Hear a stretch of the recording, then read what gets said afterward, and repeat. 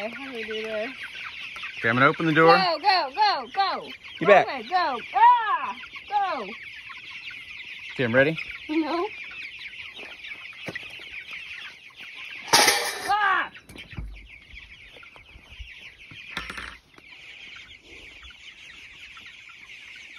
Okay. All right, let's try to move them.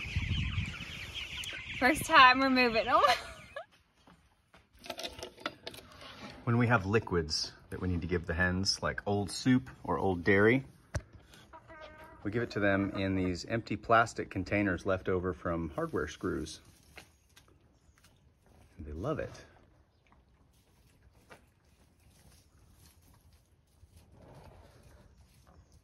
Num num. So we've been on the farm for nine months now. We moved into the house last night. So we're in here. And that's been the goal since we got here. But remember, we were confronted with so many unexpected barriers, like the house being filled with black mold, which was thousands of dollars that we had to raise, um, and a lot of work that had to be done to get the house livable again. I had to redo the plumbing from scratch from the very beginning. We had to have like two separate electricians come out. It's been a lot.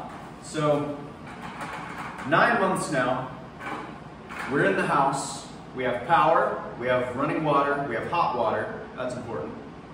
We don't have air conditioning yet, but right now the weather is really, really good.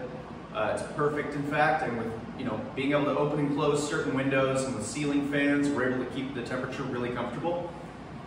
Plus, living out in the auto shop for nine months has really acclimated us to adverse temperatures. Uh, we've gotten more used to putting things on, taking things off, setting up space heaters, putting blankets on. It just seems second nature. We've got 110 souls on this farm that we're responsible for between the nuggets and the laying hens and Lily the cat and Corey and I. It's 110. We've got Marv the horse, which is 111, although Marv is completely self-sufficient, and I mean entirely self-sufficient. He's got access to fresh running water. He's got a water trough that is refilled from a well via a solar system. It's completely automated. And between all the fruit trees and the grass and stuff, he apparently finds enough to eat. So we're all doing great.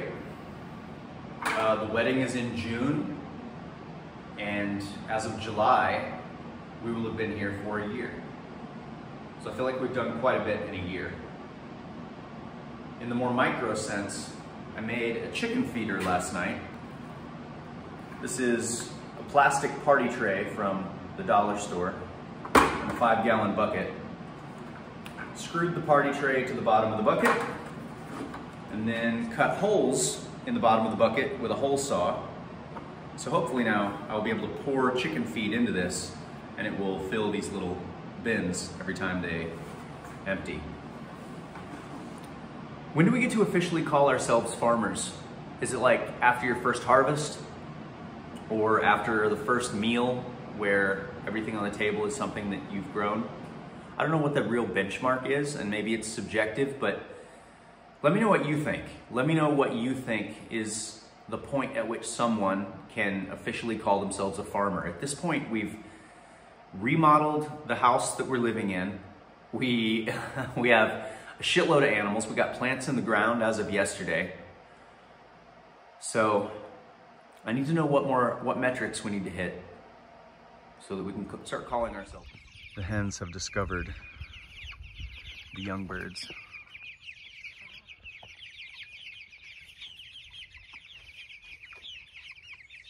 You ladies be nice. These kids look up to you.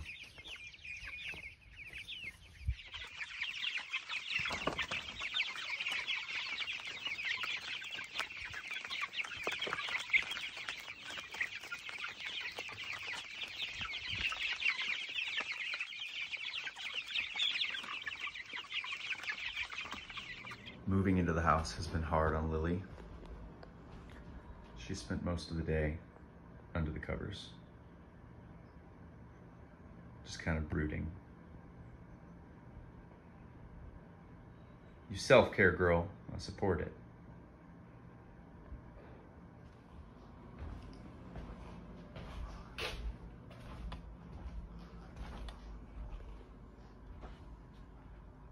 Lily, it's lunchtime.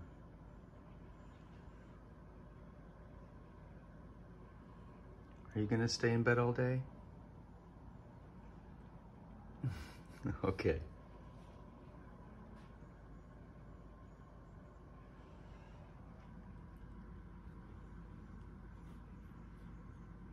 I'm repainting the kitchen with basically a coat of white Rust-Oleum on everything. White Rust-Oleum is my favorite kitchen paint. It's a beautiful white, a brilliant white, makes everything feel larger, the cabinets feel brighter. It's also got like a really nice hard enamel finish to it, so it's easy to clean and it takes a beating. Doesn't get dirty very easily. This is not a Rust-Oleum ad, but it sounds like one. Something else I'd like to point out is that you've no, you'll notice I, I remove cabinet doors. A cabinet is just a shelf with a door. And the only reason to have a door on a shelf is because either you're trying to keep too many things in there or you don't want to see it or you don't want anyone else to see it. So I'm taking a much more conscious approach to my storage in life. I'm doing away with cabinet doors, closet doors when I can. I want to see what I have. We've moved into the kitchen, officially. There's the Liberated Tulsa World newspaper machine that we've made into a prep island with a trash can inside. We've got all our eggs, homegrown staple of our diet.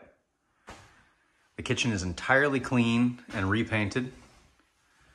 And tell me this would look any better with cabinet doors. Seriously. Looks bigger and brighter. I can't wait to see this filled with food.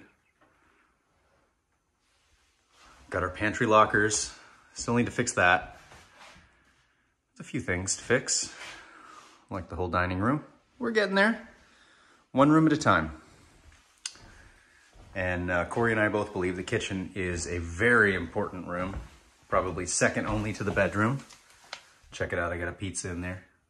And here is a five gallon bucket version of a waterer. It's a five gallon bucket, glued and screwed with rubber gasketed roofing screws to the little drain pot that goes under a uh, pot for a potted plant, little plastic $4 drain pot. And then I made tiny drill holes around the outside, realized later after trying it that that was too many. So I used epoxy to plug up all but one tiny drill hole right there. And basically you just fill this thing with water faster than the water drains out the hole. And then you throw your lid on top and that stops the water from being able to drain out over the edge of this thing. I don't know how it works, hydrodynamics, magic. And there's the waterer in position. Working great. This is by far the way to go. A similar store-bought chicken waterer costs anywhere between, well, I'm not even going to guess the figures, but it's much more than this, which was free and like $4. I think Goldie is our most beautiful hen. She's just stunning.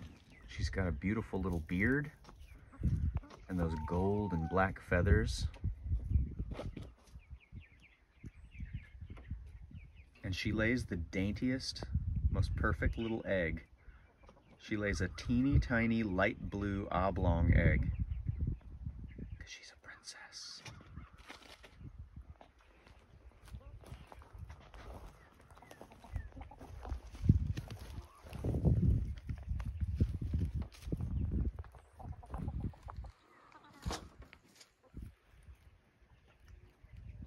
Hey girls.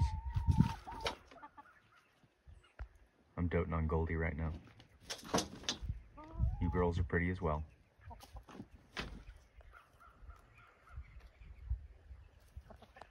However, as far as temperament, the Rhode Island Reds are far and away my favorite hens. They are a lot more social and talkative and friendly. They're a lot braver. You know, all, the things you want your hen to be. Active, really good at eating bugs, consistent at laying eggs. They are that. They're like the perfect hens.